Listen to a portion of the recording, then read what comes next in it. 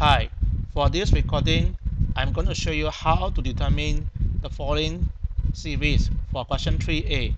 Summation of n power 3 times 5 power n over n factorial. Is this convergent or divergent? And we're going to use the rules given in the book. So first of all, the infinite series is n power 3. The terms is n power 3, 5 power n, and uh, over n factorial. So we are call this term, let's call this term an. Let an be equal to n power 3, 5 power n over n factorial. Now, the presence of 5 power n and n factorial give us a hint that if we use a ratio test, we may be able to get some answer. So what does this ratio test say? So you can refer to the text, the dependent text page 100 ratio test say that if you have an infinite series with positive terms, all the terms are positive, and the limit of this ratio, a, m, a power, n plus 1 term over the n term, the limit goes to L as n goes approaches infinity. Now, if L is between 0 and 1, then we know that series is convergent. If L is more than 1, then the series is divergent. Now, what if L is equal to 1?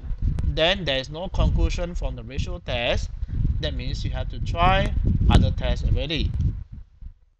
Now, ratio test is good when whenever you take ratio, there are lots of cancellation. Now, in our situation, our term we are we are going to get a lot of cancellation from our question. First of all, an is, according to our question, the terms n term is n power 3, 5 power n, n factorial. So if let's write this, n power 3, 5 power n over n factorial. Then we have to figure out what is the next term, n plus 1 term. So the n plus 1 term, change the n to n plus 1, you get n plus 1 power 3 over 5 power n plus 1 over n plus 1 factorial.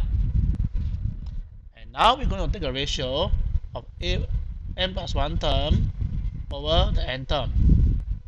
So when you take the ratio, it becomes like this, n plus 1 power 3 times 5 power n plus 1 over n plus 1 factorial divided by an.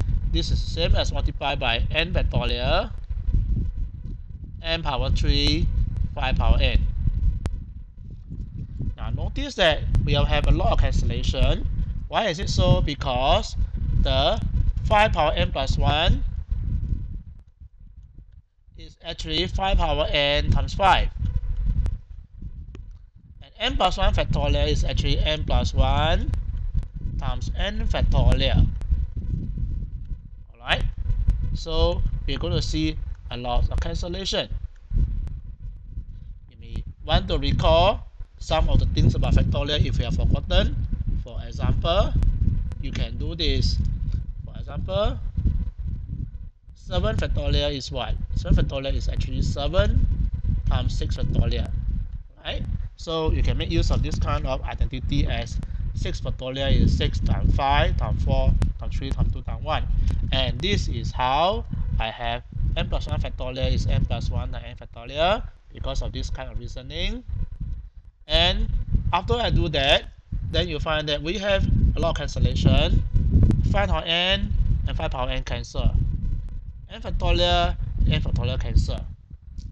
And some more, we have also cancellation. n plus 1 power 3 cancel with n plus 1. And they'll leave us to have, right, this is equal to m plus 1 squared times 5 over n power 3. Right, after n plus 1 and n plus 1 power 3 cancel. Okay. So this one, these two also got a cancellation.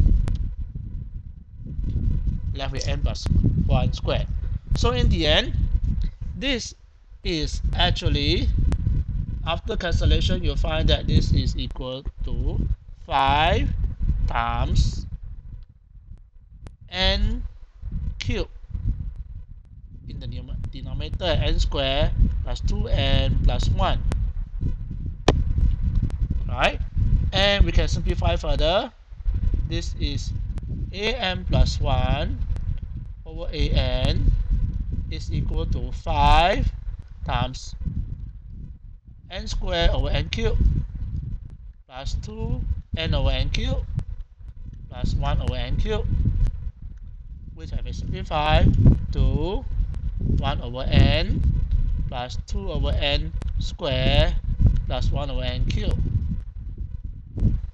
Now we know that we know 1 over n power p. For example, for p any positive number is a null sequence.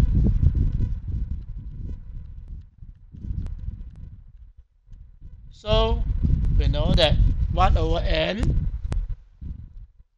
1 over n 1 over n square 1 over n cube are null sequence. Therefore, they converge to 0. And you apply the combination rule. Apply combination rule. We'll know that the limit of an plus 1 over an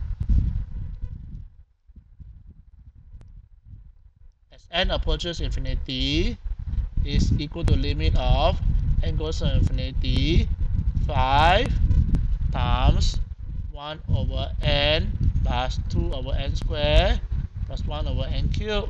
As n goes to infinity, you'll find that it all goes to 5 times 0 plus 0 plus 0 equal to 0. And this number is L. And this L is a number less than 1. And therefore, according to the ratio test, if the limit of a 1 over a is approaching uh, L and L is less than 1, then the infinite series converge. Therefore, we can conclude now. Conclusion